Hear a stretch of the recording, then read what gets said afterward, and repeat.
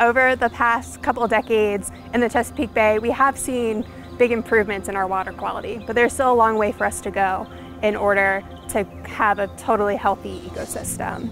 One of the major actions towards getting us to these healthy goals is the EPA's total maximum daily loads, or TMDLs. You can kind of think about this as the Bay's pollution diet.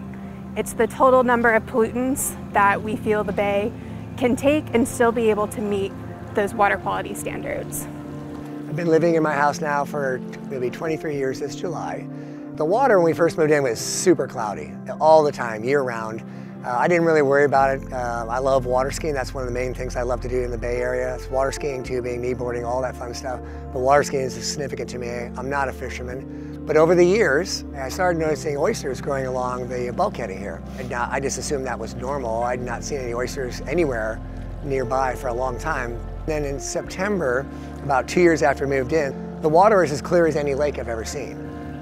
As part of our Lynnhaven River Basin Ecosystem Restoration Project, one of the things we're going to be looking at in our three different habitat types, so on the oyster reef, the wetlands, and the submerged aquatic vegetation habitats, is not only looking about how those the grasses and the plants and the oysters we're providing habitat for are doing, but also all the critters that make those habitats home. And looking at those and seeing how many we have, quantifying that to see that impact, but also looking at that over a longer time frame. We can monitor these reefs for up to 10 years, so we hope to see kind of the number of critters that we see at year one. We hope to see more at year 10.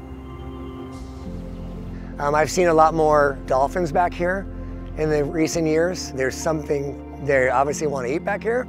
So that's pretty cool. The dolphins were not here initially. Uh, I've seen more skates, just a lot more marine life.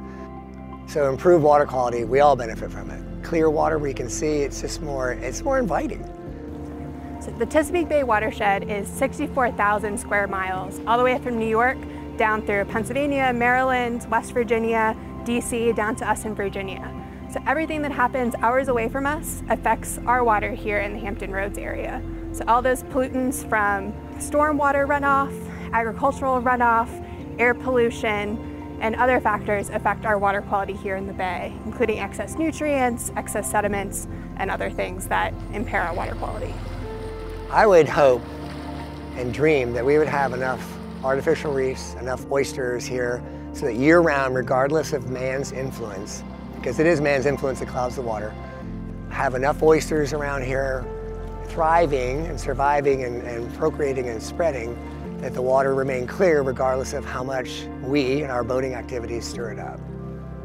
This project is important to me personally, not just because I'm a biologist, but I also live in the Lynnhaven River watershed. So I'm out there on the water with my friends, I'm out at the restaurants there in the water. I love to eat local oysters, local fish.